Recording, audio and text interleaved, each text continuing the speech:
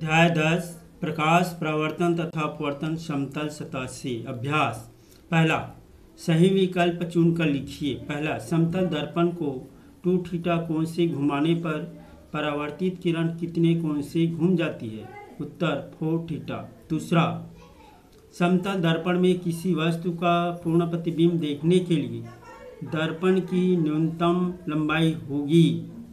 उत्तर, वस्तु की लंबाई की आधी। तीसरा, कोई वस्तु दो समतल दर्पणों के बीच रखी है। यदि दोनों दर्पणों के बीच का कोण 45 अंश हो तो उस वस्तु के बनने वाले प्रतिबिंब होंगे। उत्तर सात। चौथा, यदि वस्तु समतल दर्पण से तीन सेंटीमीटर की दूरी पर हो तो प्रतिबिंब की वस्तु से दूरी होगी। उत्तर छः सेंटीमीटर। दूसरा, रिक्त स्थानों की पूर्ति कीजिए।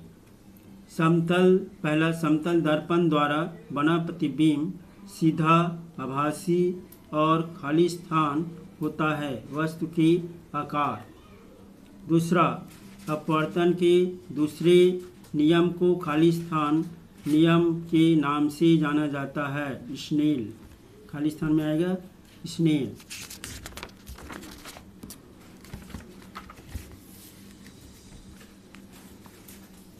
तीसरा है, प्रकाश किरण समतल दर्पण पर अभिलंबवत आपतित होती है। उसके परावर्तन कोण का माप खाली स्थान होगा शून्य। चौथा, खाली स्थान की घटना हेतु प्रकाश को सघन माध्यम से विरल माध्यम में जाना आवश्यक होता है। पूर्णांतरिक परावर्तन। प्रश्न तीन, परावर्तन के नियम लिखिए। तर वीडियो देखकर लिखना है। चौथा, अपवर्तन के नियम लिखिए। वीडियो देखकर लिखिए। पांचवा प्रश्न, पूर्ण आंतरिक परावर्तन क्या है? इसके लिए क्या आवश्यक है? उत्तर, वीडियो देखकर लिखें प्रश्न क्रमांक छः, अपवर्तन की घटना के दैनिक जीवन में दो उदाहरण दीजिए। पहला उत्तर, पहला प्रकाश अपवर्तन के कारण सिक्का ऊँचा उठा दिखता है। दूसरा, प्रकाश अपवर्तन के कारण सीधे छड़ पानी में टेढ़ी दिखाई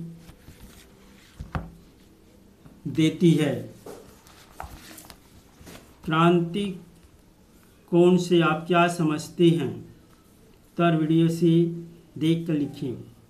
प्रश्न दस, हीरे का अपवर्तनांक 2.42 है। इस कथन का क्या अभिप्राय है? उत्तर, हीरे का अपवर्तनांक 2.42 है, जिसके लिए क्रांति कोण का मान बहुत ही कम, लगभग 24 होता है।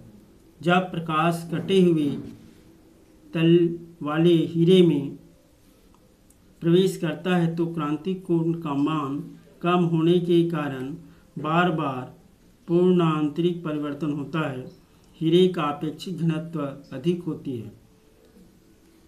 प्रश्न क्रमांक चौदह, सोलह, सत्रह का उत्तर वीडियो देख कर लिखें। प्रश्न क्रमांक पंद्रह, कारण बताओ। पहला, तालाब में स्थित मछली वही नहीं होती, जहाँ दिखाई देती है। क्यों?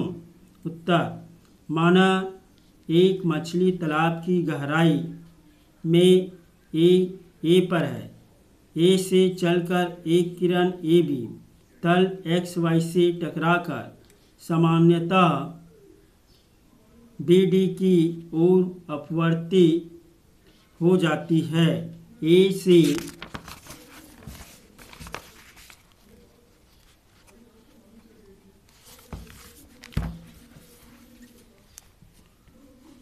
ए से एक शून्य अन्य किरण सी पर आपतन कोण आई बनाकर अपवर्तन के बाद अविलंब से दूर मुड़ जाती है। अपवर्तित किरण सी अपवर्तन की आर बनाती है और आँख एक आँख तक पहुँचती है।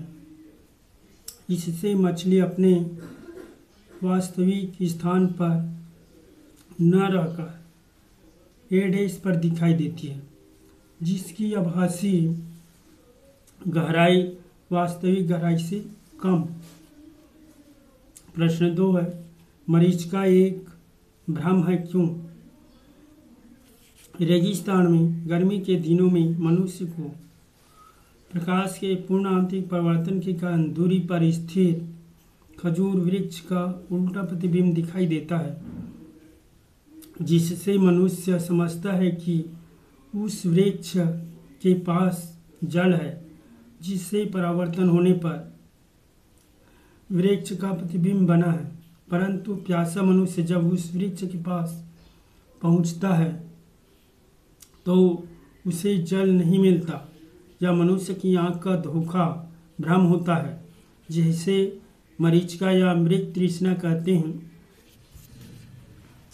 प्रश्न क्रमांक उन्नीस, एक मछली तालाब की सतह से 75 सेंटीमीटर गहराई पर प्रतीत होती है तो सतह से उसकी वास्तविक गहराई बताइए।